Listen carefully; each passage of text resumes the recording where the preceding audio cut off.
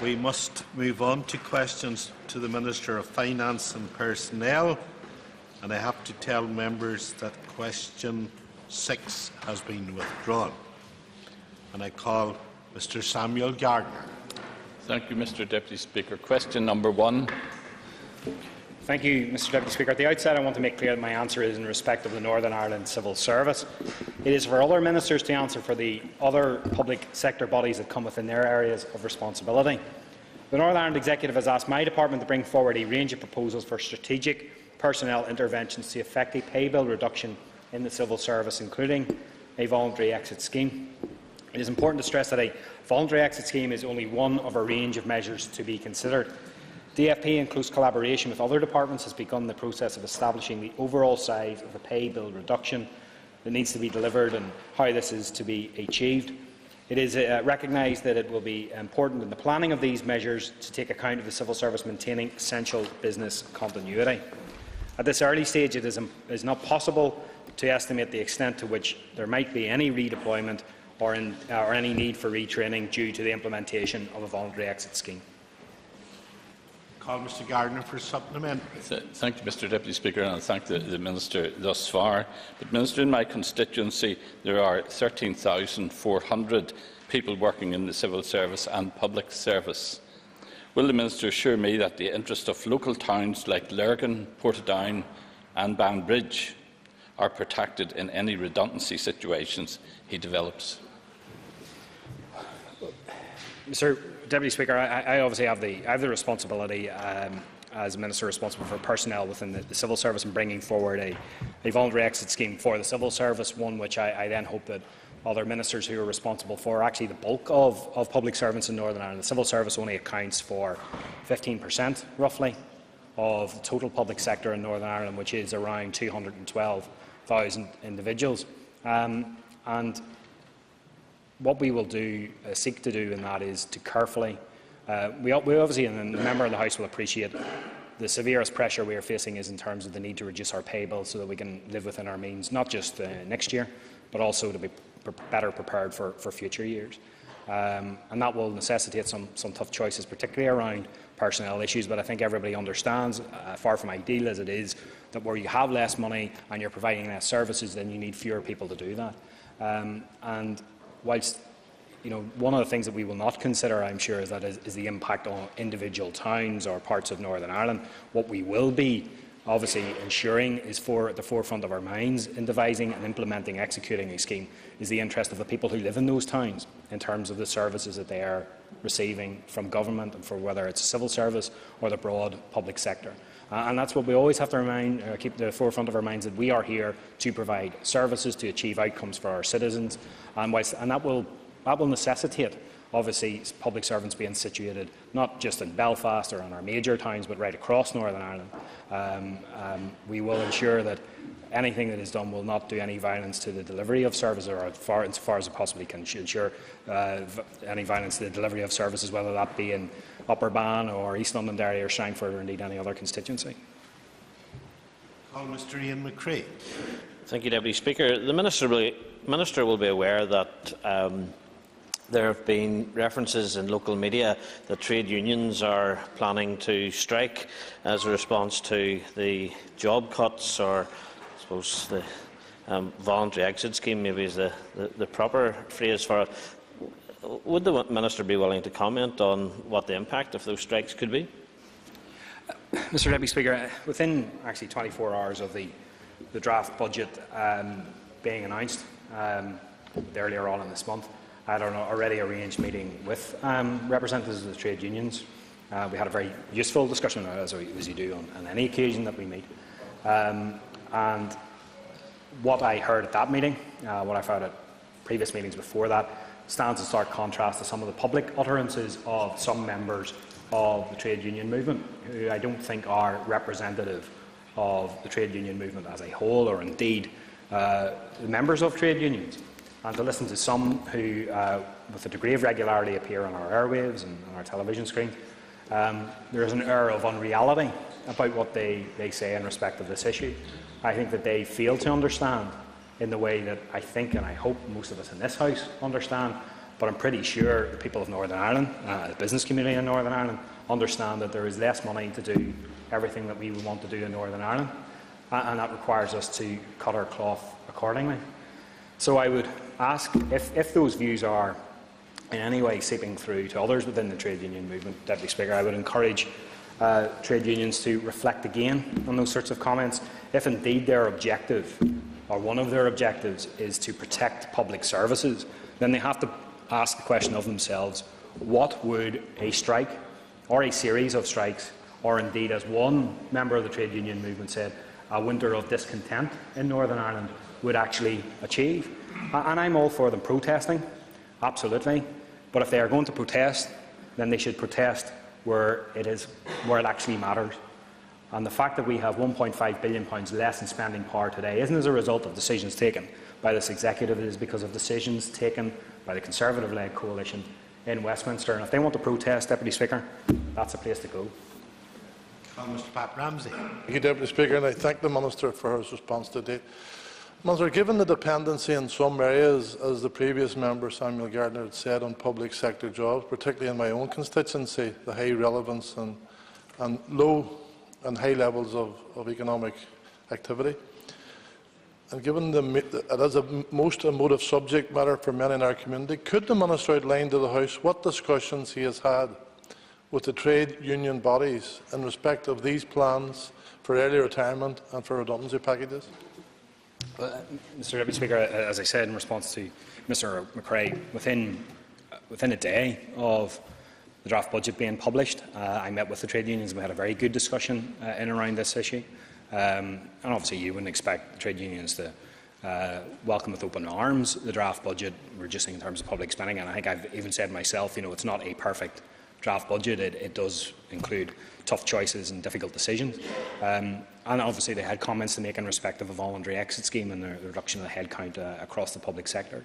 Um, but you know, I think by meeting with them very early on, I showed my intent in terms of the, you know, in, including them within the conversation, and obviously at official level, um, there, there, are and there have been and there will continue to be meetings between my officials uh, and indeed officials I would expect uh, elsewhere within the public sector and the system, and, uh, but primarily from my own department and the trade unions. And I think it's important that, particularly as we get to the, the stage, and I have a, I have a paper uh, to, away to the executive this week in terms of a reform and restructuring plan, which includes uh, details of a voluntary exit scheme. I hope to get approval for that uh, this Thursday from, from executive colleagues because we need to start moving on this very, very quickly if we're to uh, realise savings in the next, starting in the next financial year.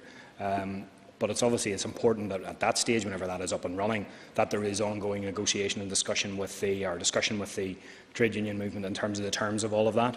Uh, and how that works and what, what is in it. Because there will be, let's face it, Deputy Speaker, there will be many members of the public sector who do want to avail of a voluntary exit scheme, and the unions will, I'm sure, want to ensure that their interests are looked after in that process too.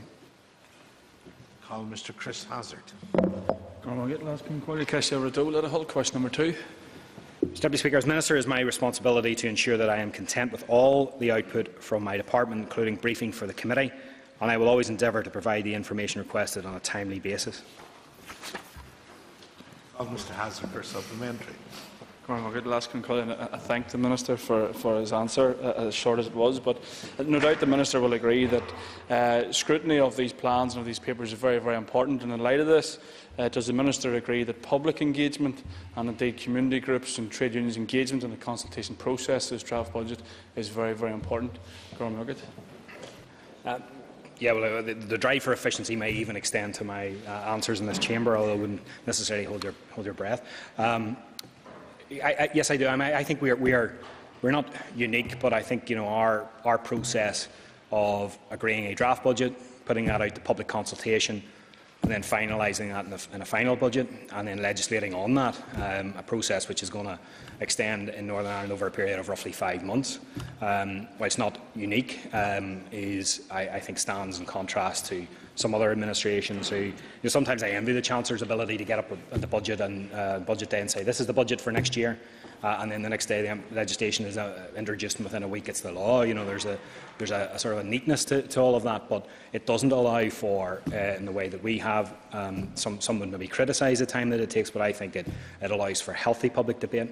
Um, obviously, this committee system, the committee system within this House, plays an important role uh, in terms of taking individual feedback from departments. Yeah, absolutely, and scrutinising what departments are saying where they're going to make, in our case, of this draft budget reductions, but also allows them to engage with uh, sectoral groups, interest groups, uh, the community uh, who are affected by the decisions that are being taken by ministers. So, um, whilst it, it, it could, could be criticised as some as a bit of a, a cumbersome process, and, and, and perhaps there sometimes is a perception, particularly in an environment where we don't have as much money as we would like, perhaps it's seen by some as not maybe necessarily having a lot of change, but I, I think it, it, is, it is a useful process which allows the general public, allows trade unions, uh, allows the business community, allows others to have their say uh, and, and, have an input into the budget. And I think that um, you will see that in the you will see that in the consultation. I'm sure we are already starting to see that in the consultation, and you will see that hopefully reflected in the final budget, which I hope to, to see agreed in early January.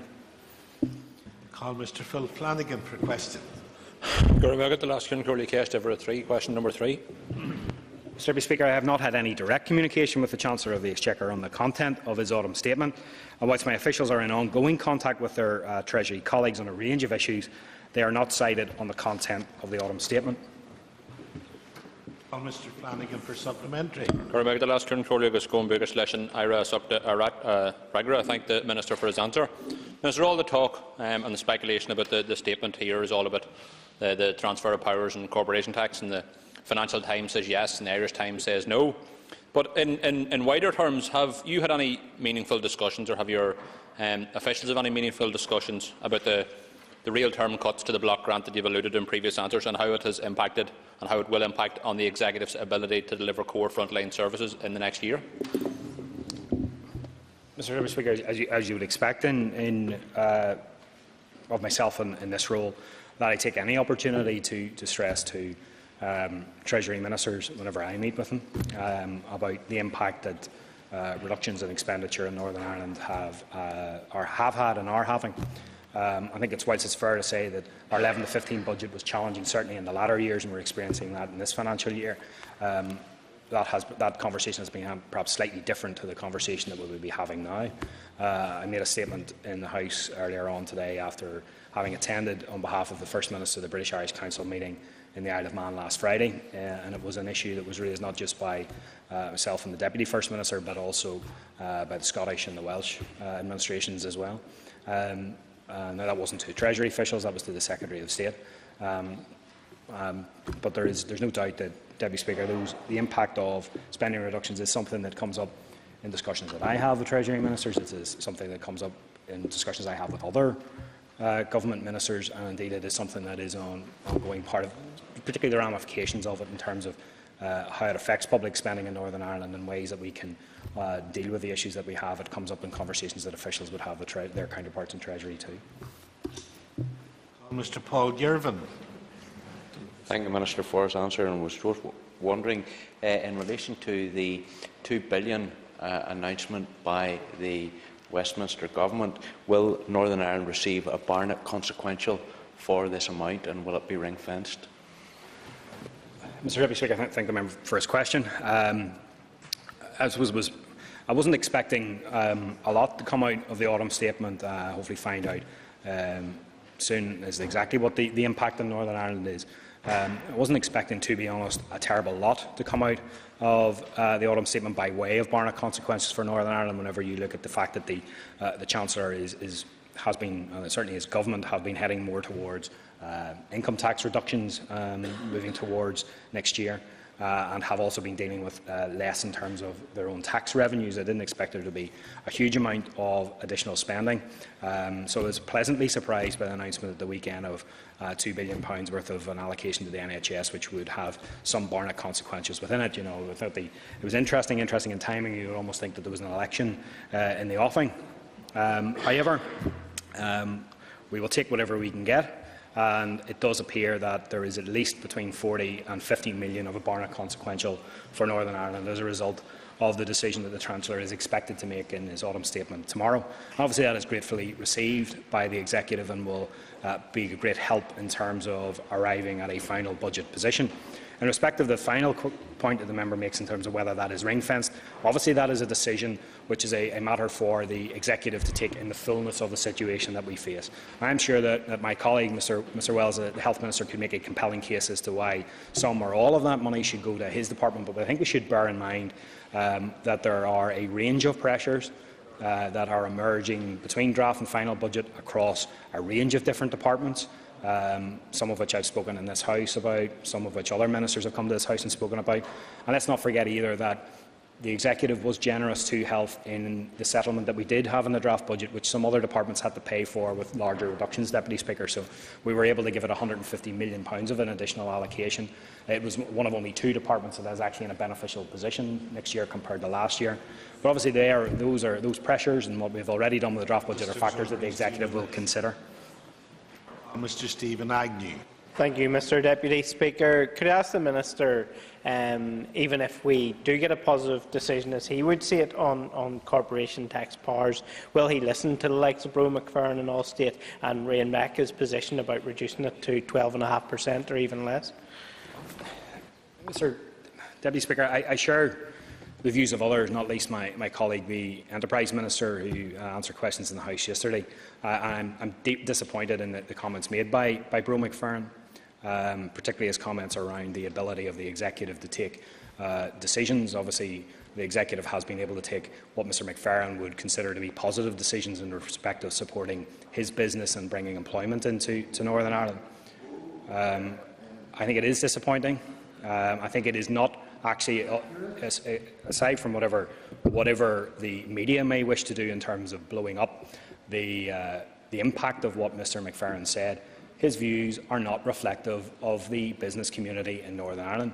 And we have a rare occasion on the issue of corporation tax where not only are all of the five parties in the executive supportive of the devolution of corporation tax, but you have had a, uh, a collective across business not just big business, say, represented by the likes of the CBI or the, the IOD or the Chamber of Commerce, but also small business in the shape of Federation of Small Businesses, the uh, Northern Ireland Independent Retail Trade Association or Pubs of Ulster, have all got behind a campaign to devolve corporation tax to Northern Ireland. And, and I, am, I remain hopeful of a positive decision tomorrow. Uh, the Economic Pact, which the First and Deputy First Minister agreed with the uh, Prime Minister in June of uh, last year uh, made a commitment signed by the Prime Minister that they would make a final decision on the devolution of corporation tax no later than the 2014 autumn statement. The autumn statement is due tomorrow, uh, and we would expect a final decision tomorrow. And I am hopeful, given the robust and compelling case that Northern Ireland has made, not just in terms of rebalancing our economy and the need to rebalance our economy, but also the fact that we have a unique situation as the only part of the United Kingdom sharing a land border with a state with a significantly lower rate of corporation tax, I think that that compelling case stands on its merits, and I hope that we get a positive decision from the Chancellor tomorrow. Well, Mrs Dolores uh, thank you, Deputy Speaker. Minister, there's been a, you did allude to uh, health in terms of the Barnett consequentials and uh, some ring fencing perhaps for that, but uh, there's also, I understand, infrastructure also to be um, uh, accommodated within the budget uh, tomorrow in the autumn statement. I just wonder in relation to the Barnett consequentials for Northern Ireland whether or not there would be a willingness on your part and the part of the executive to ring fence some for infrastructure here. Well, it, it won't be a matter if there are Barnett consequentials from decisions that are taken across the water in terms of infrastructure investment. It won't be a matter of us ring fencing that for infrastructure. It will come as, uh, as, as capital which will have to be spent on, on infrastructure, and that'll be very welcome too, because whilst our capital position next year is improving from the previous year, it is still under pressure. Uh, and, and, any money that we can pour into developing our infrastructure, on the one hand, yes, helps our economy, helps create jobs, but is also uh, a boost in terms of attracting investment to, to these shores. Um, so we will see what comes forward in the autumn statement in terms of any capital Barnett consequences that there might be. Um, uh, some of the, the announcements that I've seen in recent times would appear to be the bundling together uh, and in fact re-announcement of some previous commitments made by the government. So it's not clear yet whether there are actually new decisions and therefore with Barnett consequential, if there is comparability, or whether they're just a rehash of, of old announcements. But again, um, a bit like the um, caution too on the, in terms of the, the announcement in respect of health-wise, it does look like there are positive Barnett consequences coming from that. Um, it isn't clear where some of that might be financed, and that could be all coming from uh, decisions which have negative Barnett consequences. And there, there may be other positive decisions, there may be some other negative decisions. So we'll, we'll find out uh, approximately this time tomorrow afternoon um, whether it is good news or, or, or, not so good news for Northern Ireland. Call Mr Peter Weir for a question. Uh, question number four, Mr Deputy Speaker. Mr Deputy Speaker, the Northern Ireland Law Commission launched its consultation on the law of defamation on the 27th of November, and the consultation will run until the 20th of February of next year.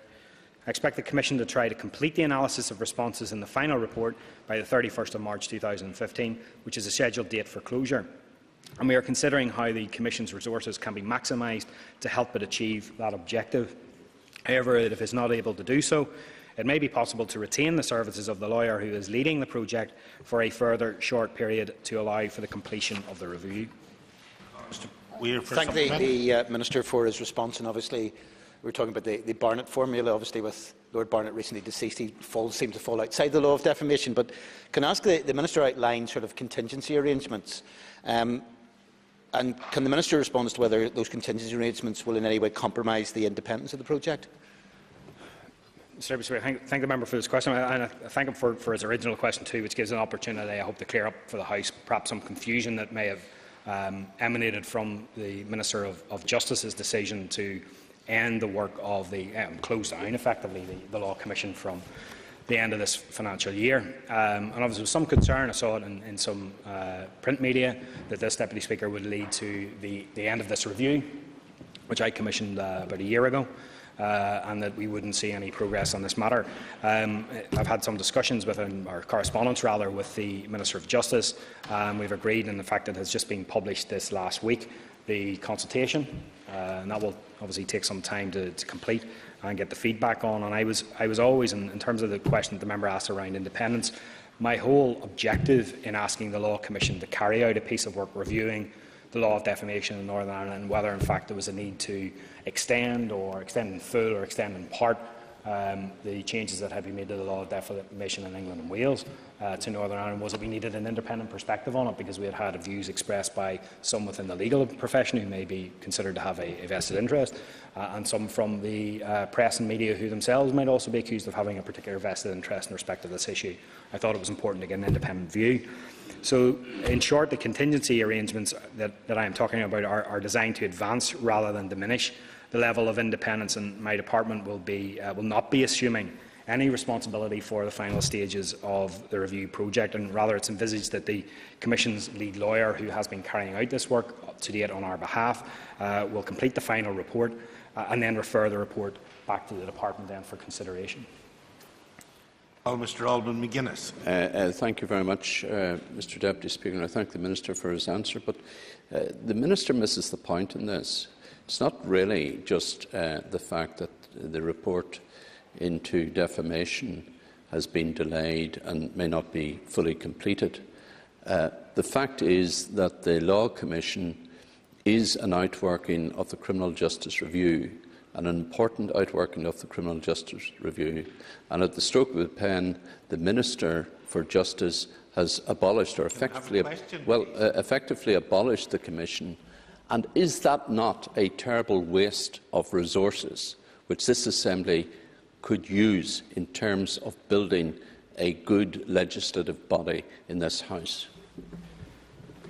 There's a pattern developing in terms of the lawyer asked the first question and another lawyer asking the second question, and I of course would expect a, a lawyer to point out where I was where I was wrong uh, in respect of this. I, I, I do think the, the decision in respect of the Law Commission is not a matter for me.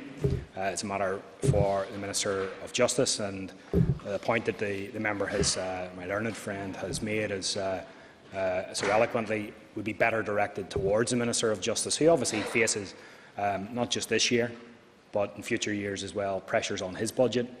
And um, I'm sure he can argue the matter out with the Minister of Justice as to the relative merits of the Law Commission but I think the, uh, we're not wishing to speak for the Minister of Justice. I'm sure the Minister of Justice would highlight the fact that in the very pressurised budgetary environment that he is facing, not just this year but in future years, he has to take decisions which might, in an uh, in a more perfect environment, a more benign environment, may not be decisions that he would want to take, but in order to ensure that as much of the front line in terms of services, particularly around the police, uh, are protected and supported within his budget area, within his area of responsibility, that the decision to do away with the Law Commission is in that context a reasonable decision to make. Call Mr Danny Kinahan. Thank you very much, Mr Deputy Speaker, and I thank the Minister for his answer so far. Um, so we've got the review, but when the consultation um, comes out, will the Minister assure us that if reform is needed, that he'll guarantee that we will bring forward legislation?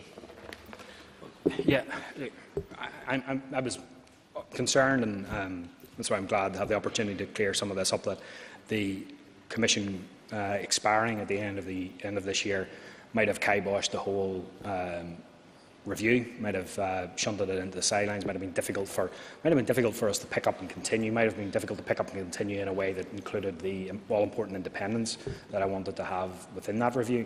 Um, I can't I would be foolhardy if I stood here and I guaranteed anything, uh, including legislation on this, but the whole purpose of the review is to get that independent perspective on this issue, for us to consider that uh, for us to see whether, where the balance of the arguments are in terms of the need to perhaps introduce legislation. And if, if the conclusion uh, that I reach after studying the report is that there is a need for legislation, I will seek to bring that forward. But obviously, towards the end of an Assembly term, there is a rush to get legislation through. There is a pressure on resources in terms of the legislative draftsman and, uh, and the time in this House and the time that committees might have.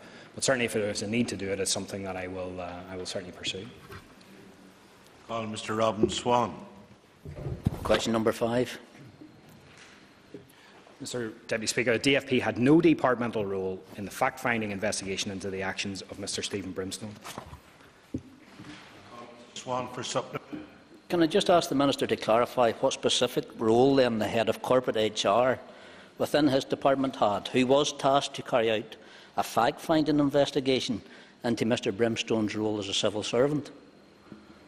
Mr Deputy Speaker, the, the member has um, articulated the position exceptionally well, to the point where I'm, I'm wondering why I even needed to ask the question.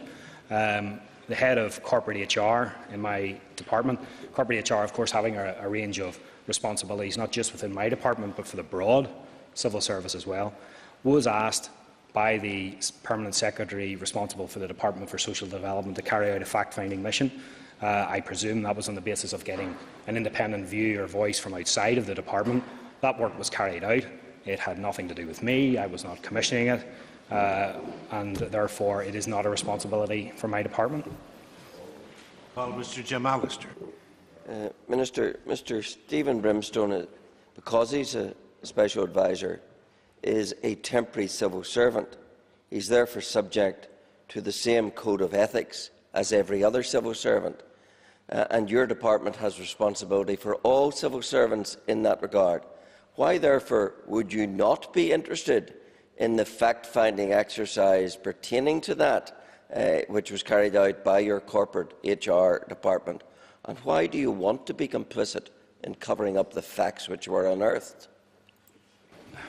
Typical response, Mr Deputy Speaker, from, from the member who uh, has shown his position in respect to this whole issue by his, his very open remarks that uh, in the committee where he is, he is I mean, particularly for, for a lawyer who I would have thought would have seen the, you know, waited to the balance of evidence was there, the gentleman has very clearly reached a conclusion in his own mind in respect of this matter.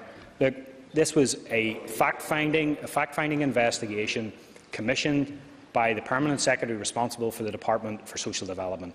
Nothing to do with me, nothing to do with my department, and I dare say, if I had have shown an interest in the report, asked for the report, wanted to see the report, the very member, Deputy Speaker, would have been accusing me of interfering in the process. I think what I have done in respect of not asking for the report, not looking at the report, not seeing the report, not commissioning it, not being involved in any way, shape or form, was the right and proper thing for me to do.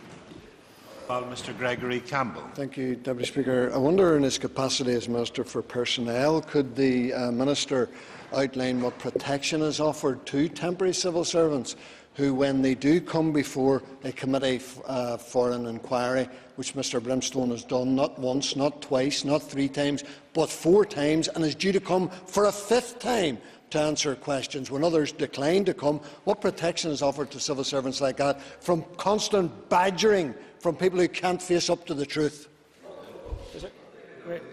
Hi, Mr Deputy Speaker. It wouldn't matter to me whether they were um, special advisers or indeed any other civil servant or public servant. I think before, when they come before committees of this House, they should be treated with courtesy and respect and not treated as if they are, one, guilty, which is the behaviour of the, the member, Mr Allister, in terms of his dealings uh, with Mr Brimstone, uh, or that they are, uh, they are being treated as if they are some sort of witness in a court of law where the, the member can practice the skills that he uh, developed down through the years in the High Courts in, in Belfast. You know, I think all, all witnesses, all people who come to this House to give evidence in whatever way, shape or form should be treated with decency and respect.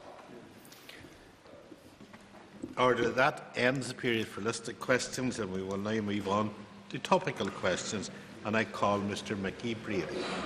Goramayagat Last Concordia. Could I ask the Minister for his analysis of the Smith condition, uh, Commission recommendations and their potential local impact? Um, I, I, I, think it was uh, an interesting, um, an interesting report that was published last week by the um, uh, Smith Commission, uh, one that I have taken a, a, look of and will obviously study in much more depth. Um, interesting in and of itself in terms of the impact that it has on uh, Scotland but more revealing too, perhaps, in the way that it means, particularly with the conversation that we are having at the minute in respect of the devolution of, of further powers to Northern Ireland. Obviously, we're very much focused, Deputy Speaker, on uh, the devolution of corporation tax and hopeful to get a, a positive response on that uh, in respect in, in, the next 24 hours. But it does reveal, uh, particularly around welfare and indeed other uh, tax devolution, that there are there is potential for Northern Ireland should we want it, should we judge it to be in our, our interest. Uh, there is potential for more powers to be granted to this Assembly should we agree to the sequel. Mr Brady for supplementary. Thank the Minister for his answer. Um, the Smith uh, Commission recommendations on welfare have changed the context of welfare cuts. Does the Minister think that the um, enhanced benefits offered to Scotland could have some impact or potential here? I think the, the area of welfare uh, that's contained within the Smith Commission is, is one of the more complex. Um, I think it, it um, certainly I met with the new Scottish First Minister Nicola Sturgeon last week at the British Irish Council, and uh, she was at pains to point out that the Smith Commission, in her view, was a good start but didn't go far enough as far as Scotland was concerned. Uh, in respect of, of welfare, she was, I think, I don't wish to ascribe views to her, but I think she was a little underwhelmed uh, that um, the powers that were or the, the welfare benefits that were potentially going to be devolved to Scotland were only a small chunk of the overall uh, and would have to be uh, any decisions that came at a cost were going to have to be paid for uh, by the Scottish Government. And that, of course, um, would uh, uh, sound familiar to us in this place because obviously we have negotiated flexibilities around welfare reform, uh, but all of those flexibilities obviously come at a cost to the Northern Ireland Executive. Um, I think there are potential, there is potential rather, for us to work closely with Scotland as they, I mean, they, they will tease this out and they will work this out themselves as to whether it's in their interest, whether they want to take it, how they want to take it, what they want to take and what they don't want to take, and what the ramifications are in terms of developing an IT system for Scotland. And as they form a view in respect of all of that, I think it's, it's, it's important that we keep close to them, uh, continue to engage with them. That's something that the Deputy First Minister and I uh, pointed out to the deputy or to the first minister, and she was uh, keen for that to continue because there is a potential, I, I, suppose, looking very much down the line, maybe four or five years, if the Scots do develop their own welfare system, and that is a system that is more in keeping with where we might want to be at that time, having passed some welfare reform legislation in the intervening period, there may be an opportunity for us to work with the Scots and have a joint welfare system which would help to reduce any administration costs. But I would be at pains to stress, Deputy Speaker, that's very much dependent on what the Scots decide uh, and is also something that is very much in the longer term. I don't see it happening in the next year to 18 months, which is what really whenever, uh, well before that period, we have to take a decision in regard to this issue. Mr McGimpsey for a topical question. Uh, thank you, Deputy Speaker. And could I ask the Minister that, uh, bearing in mind we're looking at a workforce restructuring proposals, uh, what will the impact be? Does the Minister, uh, what is the initial view on the impact uh, on the in terms of numbers of workers and numbers of jobs uh, actually impacted uh, and affected, bearing in mind the high levels of public sector workers within Northern Ireland? Yeah. Mr Speaker, I think there is, there's been consensus across this House um, down through the years that certainly that I've been here and before that too, that we have an over-reliance on the public sector in Northern Ireland for, certainly in the past, economic growth and, and for employment. Um, and we have a, a, rather large public sector of 212, around 212,000 people for a population of just 1.8 million. Uh, and whilst we've want, wanted to rebalance it, perhaps the circumstances in which we find ourselves in, which is perhaps forcing us towards rebalance aren't, balancing, aren't ideal. Uh, it is too early, um, Deputy Speaker, to um, say precisely how many people we expect to, to lose across the public sector. Um, other than, but one thing I will say is that in discussions I've had so far with every minister, and they have come from every party represented within the executive, that there isn't a department which does not foresee the need to reduce its headcount.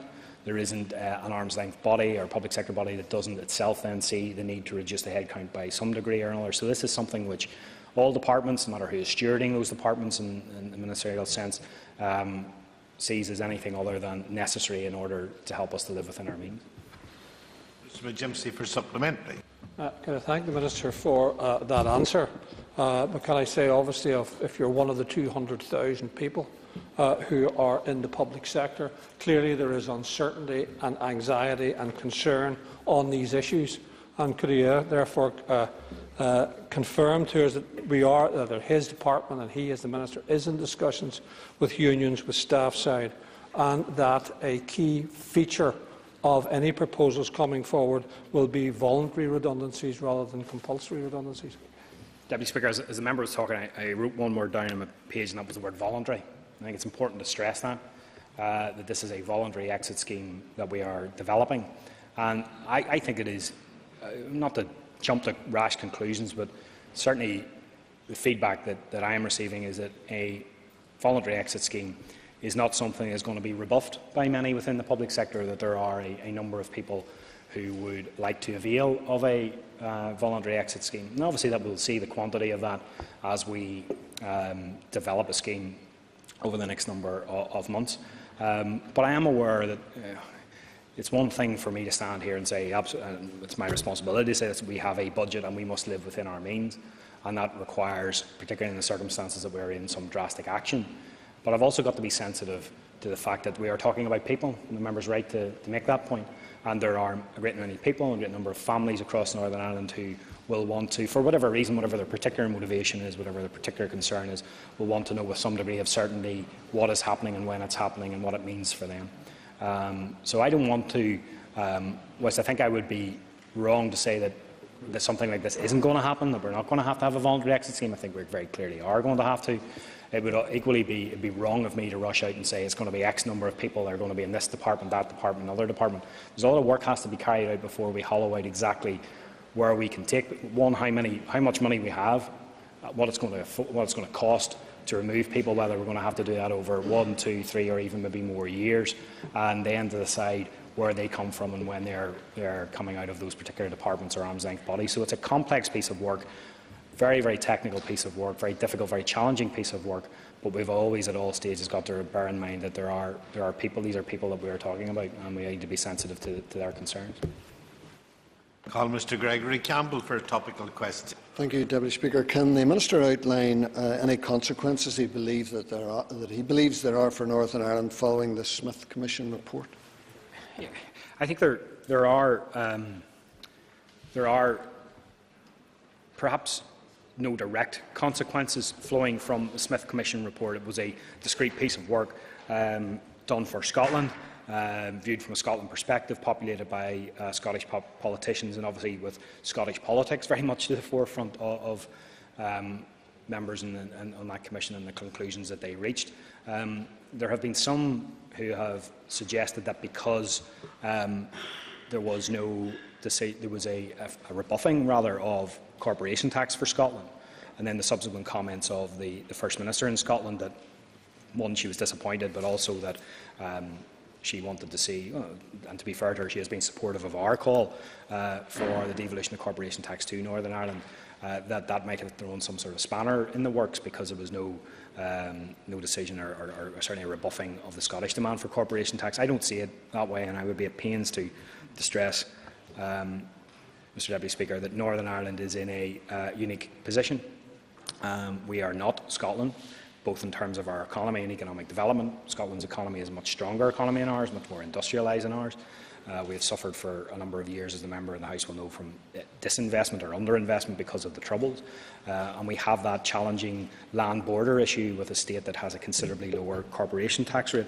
But you know, I am so I don't see I don't see that there, because there is nothing included within the Smith Commission about corporation tax, that it means that there's necessarily going to be a bad answer for Northern Ireland. And I hope that we get a, a, a positive outcome tomorrow in terms of at least uh, you know, some sort of decision um, by the, the Chancellor. And obviously there will be a lot of work will be required after a decision a positive or supportive decision by the Chancellor will still necessitate work both at Westminster in terms of passing legislation there, also here in Northern Ireland passing legislation here. Um, and, but I still am hopeful that we will get the, the go-ahead uh, tomorrow that will allow us to proceed with uh, securing that policy. Mr Campbell for supplementary. Thank you, Deputy Speaker. Um, hopefully the Minister is right and there will be a positive response tomorrow, but as, assuming there is and within 24 hours we know the, the, the position, would he see the position post-legislation uh, at Westminster that his officials would then begin uh, a very diligent process uh, with the Treasury in terms of the outrolling of, of the positive response?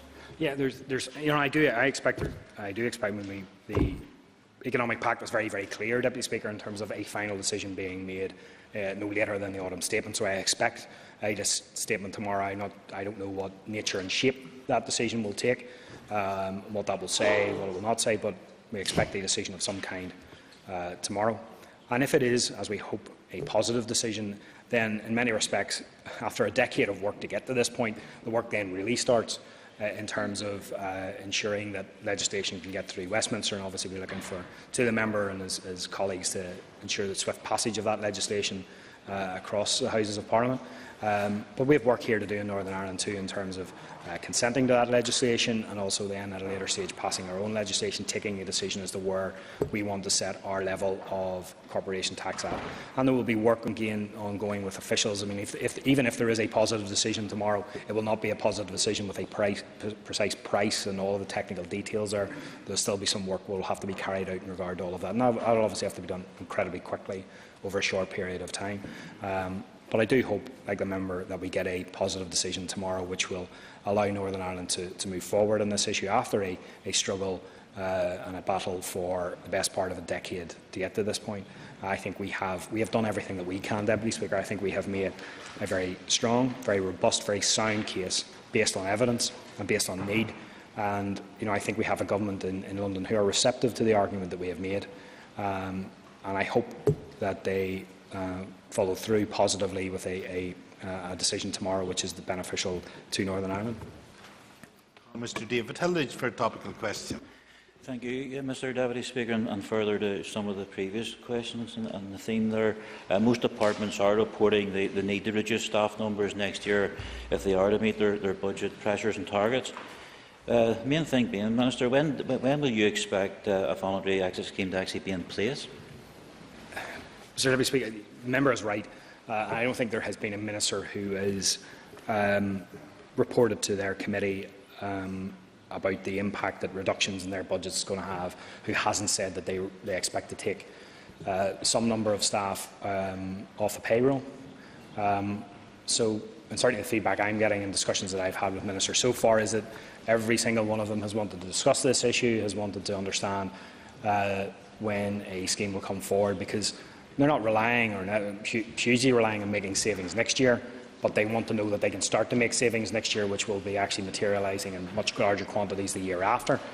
Um, I have submitted, Deputy Speaker, a paper to the Executive, which is a broader paper on restructuring and reforming the public sector, uh, which includes a range of, of, issues, but primarily includes this issue of a voluntary exit scheme.